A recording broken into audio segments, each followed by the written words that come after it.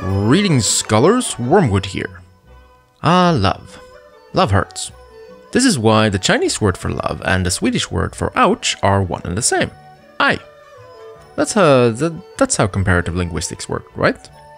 The Chinese character for love, as seen here, is one of the first characters a Chinese learner uh, learns, and perhaps also the first time said student is forced to pick a side in the decades-old blood feud that will henceforth define their whole existence. That's right, we're talking about traditional versus simplified characters. And you might expect me, a regressive Luddite, to side with the traditionalists on this one, because hey, more strokes equal more good. But as it turns out, they're both wrong. To see why, let's do some etymology. The oldest recorded use of this character is actually not that old, relatively speaking, only appearing on bronze inscriptions from the Spring and Autumn period. Apparently, the Shang dynasty emperors never had to ask their ancestors for advice on how to get the jade-like beauty next door to go on a date with them. Shang dynasty? More like Sigma Grind dynasty, am I right fellas? Now, what we see here is quite different from the modern character. At the top is the character Ji, which we encountered in my video on Qi, and at the bottom we have Xin Heart.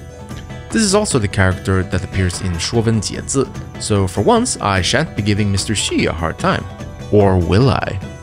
In my video on Qi, I described the Qi glyph which used Ji over fire, Huo, as belching fire Qi, because Ji can be seen as both a semantic and a phonetic component.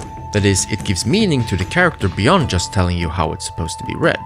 Today's hot take is I think that the same holds true for the character I. The Shuowen entry under Ji reads specifically, 饮食逆气不得息越气, or in English, eating and drinking causing qi to rise up or going backwards, making it hard to breathe. This is called ji. This is a very roundabout way to describe a belch or something like a hiccup, but I wanted to draw your attention to the implicit feeling of discomfort here, something which I'm sure anyone who's ever had a crush on someone can relate to. I believe whoever invented this character wanted to paint a vivid yet simple picture of the feeling of love and passion, which would instantly be recognizable. And in fact, it was this sensation which caused many uptight Confucians to label romantic love as a form of mental illness. But that's a story for another time. We've now established the origins of the character love, but this early glyph looks nothing like the modern character, so how did we, to quote Private Baldrick, get from one state of affairs to the other? Well, the ancient glyph remained in use throughout the spring and autumn period. Of course, the Chu still had to be a little extra and use a modified form using the homophone ji as a phonetic. Never change Chu, never change. On the opposite end of the Warring States map, however, in Qin, we see another development. The missing link, so to speak, between the ancient and modern character can be seen in the excavated text from the Qin period, where a foot radical has been added to the bottom of ai, resulting in this shape. Because apparently, not only was the first emperor an insane megalomaniac, but he was also a foot fetishist. The Han Dynasty scribes, while otherwise wasting no opportunity to dunk on the previous dynasty, apparently share the first emperor's love of feet because they continue to use the modified character. Mr. Xu made a valiant attempt to end the madness, which is why Shuowen Jiezi lists the original character as the correct one, and glosses the modern character as meaning to walk. Funnily enough, ai is not listed as having to do with walking anywhere else, at least that I could find, so either this was an obscure Han Dynasty reading that is lost to time, or Mr. Xu was so desperate to cover up for this foot fetish nonsense that he just made a meaning up on his own.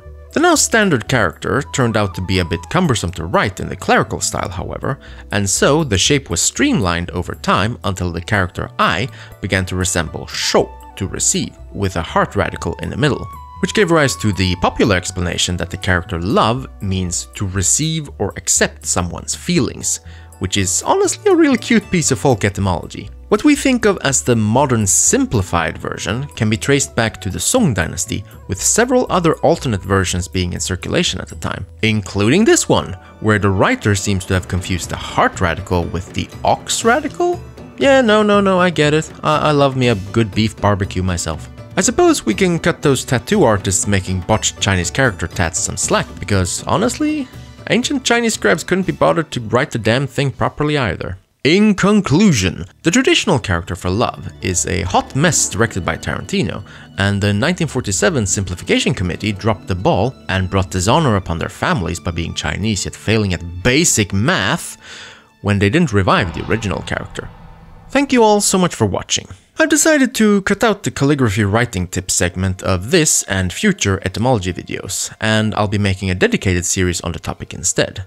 You know, eventually. On that note, I'd like to apologize for my lengthy absence. I've had to juggle several IRL things continuously for the last 6 months, and I haven't had the energy to make any videos. Hopefully I'll be able to return to a more semi-regular uploading schedule sooner rather than later. And don't forget to show the algorithm some love by leaving a like and comment below and stay tuned for more Chinese etymology videos. You're all truly wonderful.